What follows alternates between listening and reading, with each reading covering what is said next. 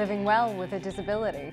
I'm Jill Horner. This is Comcast Newsmakers. With me this hour is Erica Croce. She is the Public Relations Coordinator for Center for Independent Living of Central PA. Thanks for being with us. Thank you for having me. Talk to us about what you do as an organization. You reach out to a wide variety of people.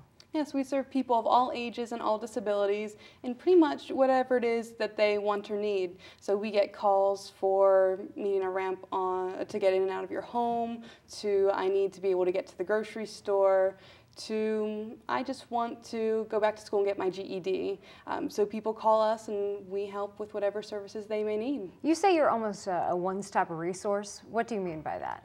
Well, for people with disabilities, you typically can have a lot of problems getting the services you need. You know, you go one place to have someone come into your home and take care of you, help you with dressing and cleaning and cooking, but then you have to go somewhere completely different to get um, tickets to ride the bus system. And it's, it's really difficult to have to figure out now where do I go, now who do I call. So it's very important to us to be that one call because either we can take care of whatever it is you need in house, or if we don't, we should at least know who does. You know, the worst we're ever going to say is, let me do some research and I'll get back to you. So it's everything from how to put together a basic household budget to I'm thinking about changing my career and I need some assistance on how to figure out how exactly. to do that. Exactly, And everything in between. Even I want to learn to scuba dive, whatever it may be, you can call us and we will help you figure it out. Now there's a program called Living Well with a Disability and this is really the blanket program for what you yes. do as an organization. Mm -hmm. It's wonderful. People call in to Living Well with a Disability. We'll take down your basic information, what you think your needs are, and set set you up with someone who hopefully, is, if we can, is even going through a similar situation. And we have uh, at least 50% of our staff at all times are also people with disabilities who understand what you're going through.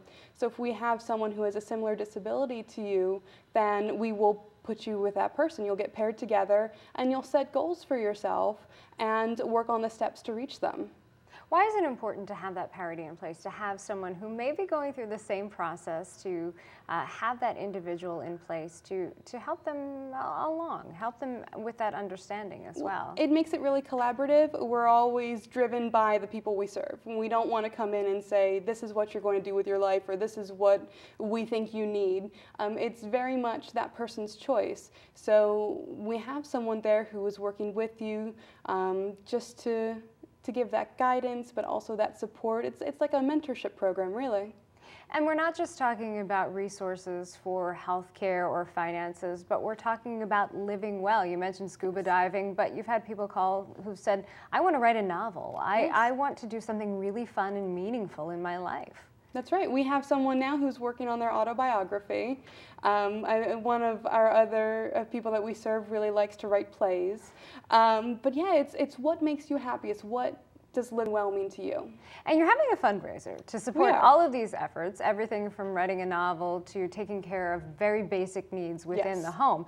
Uh, now, all of this is happening on uh, Saturday, July 23rd. It's called Walk and Roll for Living Well. Tell yes. us about this fundraiser. It's a great walk, and lots of organizations have walks, but what makes ours a little different, well, it is fully accessible, so there will be people there um, using wheelchairs, they may be using scooters. We had somebody on a big tricycle last year. So it's however you like to get around. We come together, we celebrate the anniversary of the Americans with Disabilities Act. You just walk a couple laps around City Island, come back, enjoy a nice free lunch, you know, get your t-shirt, hopefully win a raffle or two, and have a really good day out in the community. How can people actually get involved with this event?